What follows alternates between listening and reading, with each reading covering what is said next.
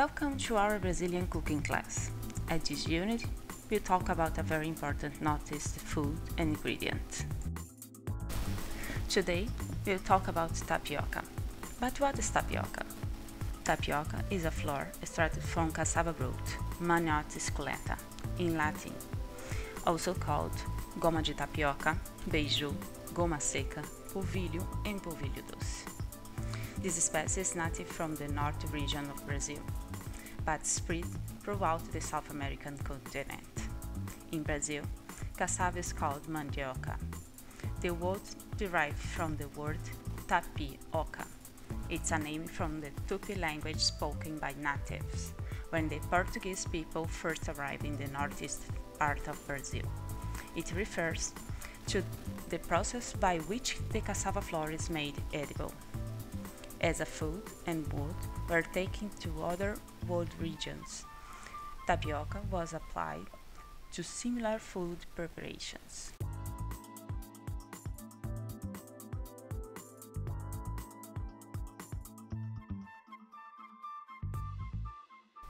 History and culture. The plant was carried by Portuguese and Spanish explorers to most of the West Indies and continents of Africa and Asia, including the Philippines and Taiwan. It's now cultivated worldwide.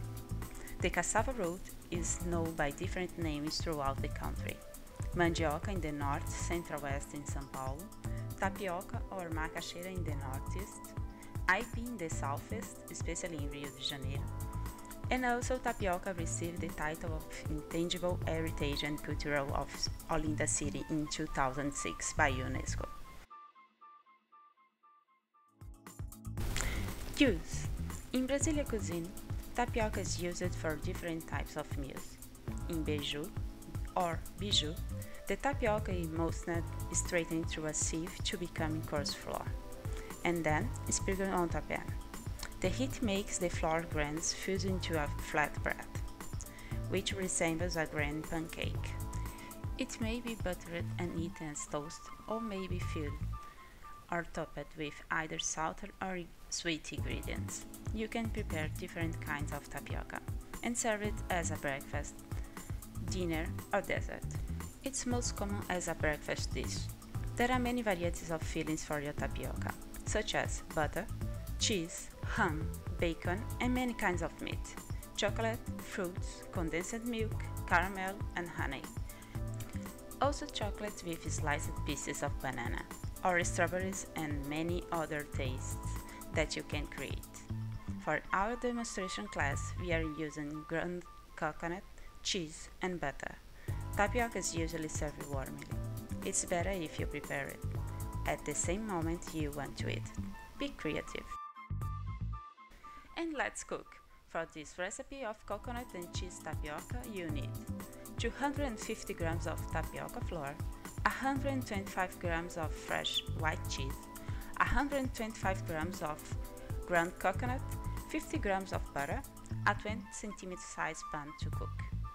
Preparation Crumble the tapioca flour with your hands, pass through a sieve, and add a little salt. In a pan, spread the flour and model the tapioca as a pancake.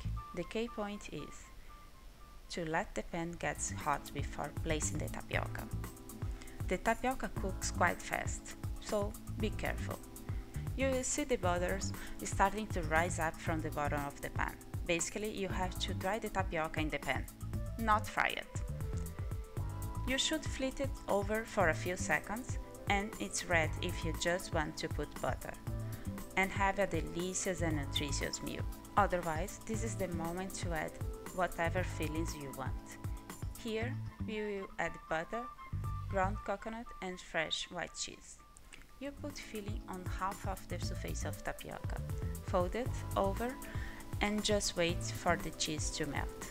Split the butter off one of the sides, then place the tapioca on the dish and serve immediately. Nutritional values Tapioca predominantly consists of carbohydrates. Each cup of tapioca contains 23 and 9 grams for a total of 105 calories. It's low in saturated fat, protein, and sodium. Also, It has no significant essential vitamins or dietary minerals. One serving of tapioca pudding contains no dietary, a small amount of oleic acid, and no omega-3 or omega-6 fat acids. For more information, see and download the tapioca infographic. See you next class. And let's cook! Tips As we have mentioned before, tapioca can be salted and sweet. If you decided to do a salted version, just add some salt to the tapioca flour. If you decide for a sweet version, you don't need to add anything.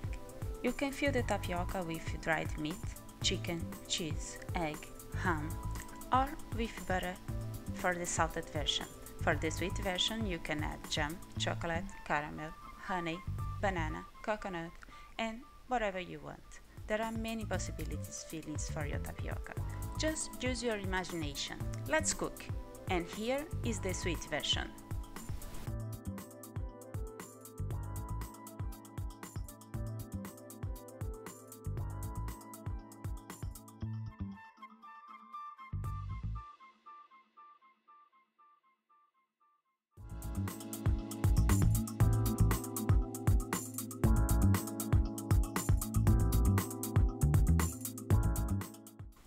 Other use.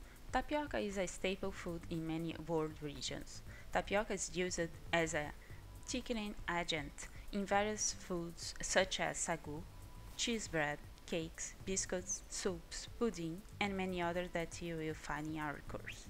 A regional dessert called sagu is also made in South Brazil from tapioca pearls cooked with cinnamon and cloves in red wine. The fine-grained tapioca flour is called polvilho, and it's classified as sweet and sour. Sour polvilho is commonly used in dishes such as cheese bread, in which the flour is mixed with a certain type of cheese similar to parmesan, eggs and butter, and baked in the oven.